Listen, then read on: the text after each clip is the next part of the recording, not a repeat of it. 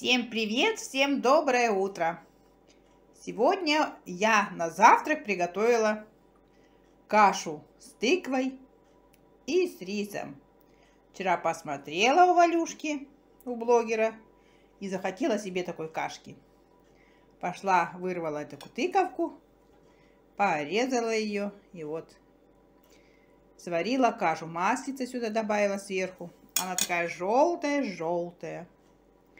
Вова отказался от такой каши, а я с удовольствием. Всем приятного аппетита, кто сейчас кушает.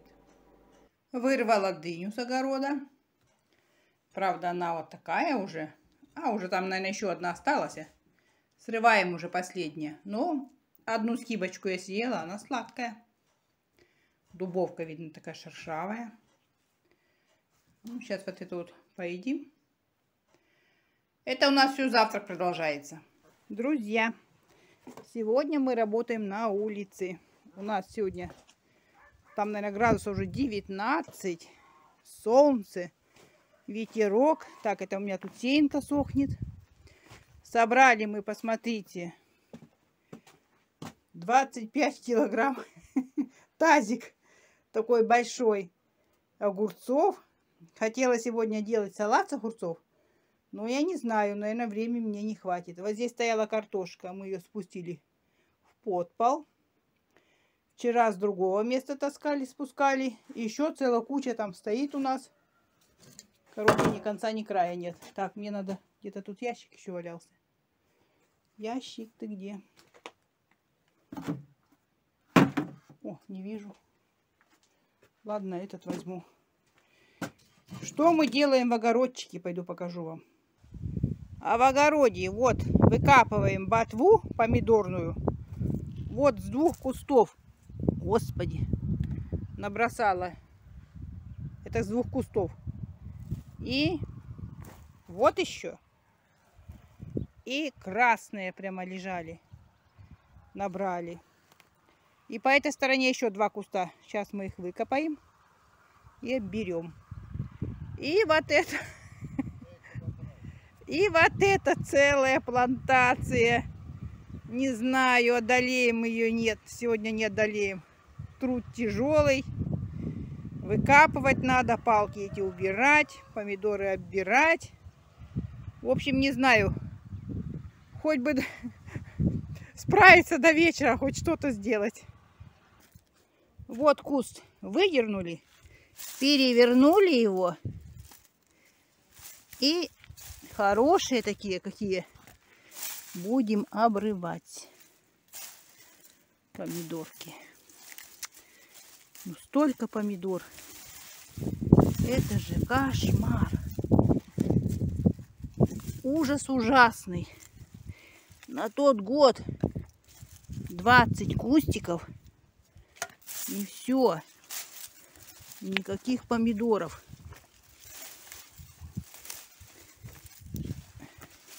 Уже у нас нету таких аппетитов.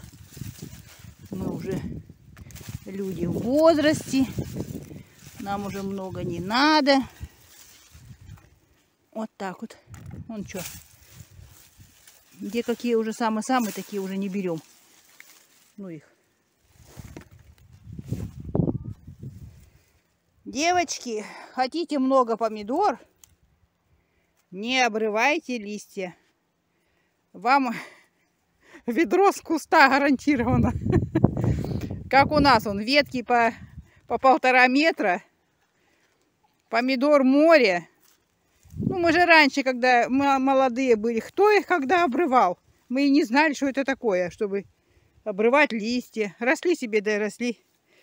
Как накатаешь под кровати, под столы. Господи, где у нас только их не было. Ребятишками залезем под кровать.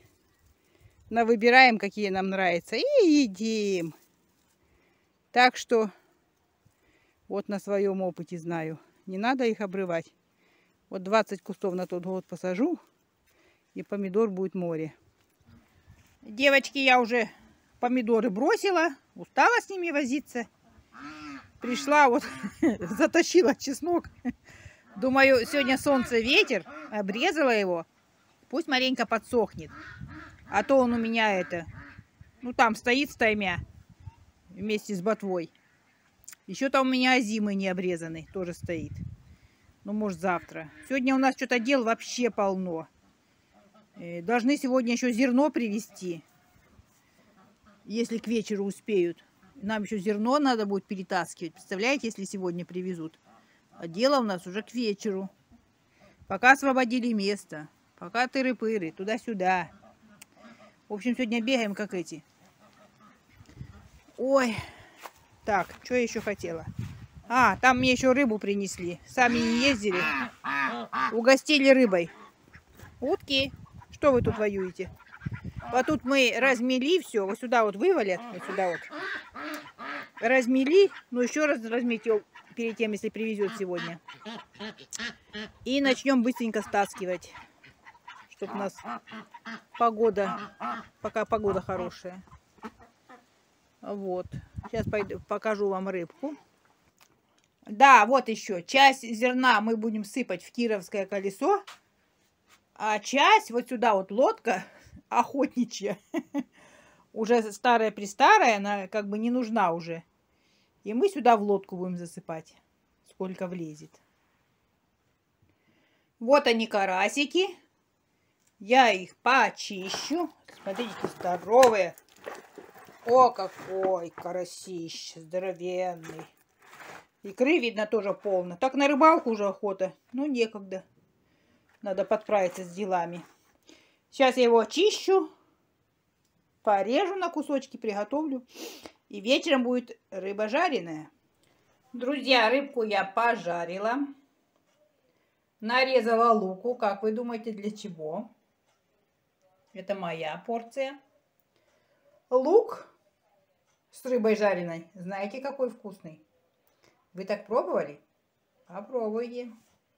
Очень вкусно. Вышла на улицу посмотреть. Вечер уже у нас. Еще зерно пока нам не привезли. Наверное, попозже.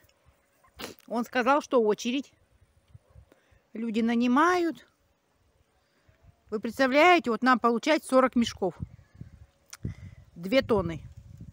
Вот кого мы 40 мешков. Это молодые были мы, все это у меня. У нас было два пая. Один пай мы продали в том году. Потому что нам уже не под силу. Так, во двор пойду. И вот эти 40 мешков нужно насыпать. У нас тут привозят в кучу. Ну, возле одних там такая площадка. Кучу ссыпают, и люди набирают. У кого три пая, у кого четыре, у кого два, у кого один. В общем, так рассчитано, чтобы всем хватало. Но нам это уже два пая, нам уже не надо. Мы уже не держим ни свиней, Ничего мы не держим такого. Вот одни уточки. И вот представляете, вот это все грузить, насыпать. Оно же страшно тяжелое, пшеница. Позапрошлом году, наверное. Так, ну мы уже сами не можем обходиться, нам сын помогает.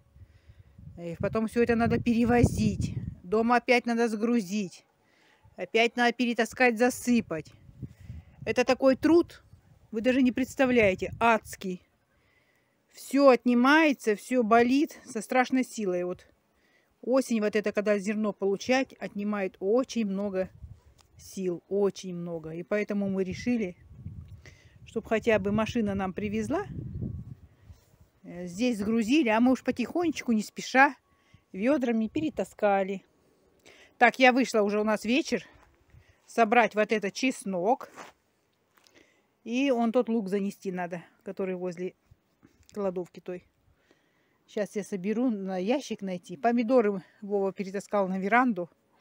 Помидорами затарились, мамочки родные. Куда что девать? Это аж и не знаю, до Нового года, наверное, не переработать и не съесть. Ну ладно, вот эту еще тоже штуку надо занести куда-то, не знаю куда. В общем, все, дорогие мои подписчики, зрители моего канала, я с вами прощаюсь. Всем желаю крепкого здоровья. Всем всего самого-самого доброго. И всем до встречи. Пока-пока.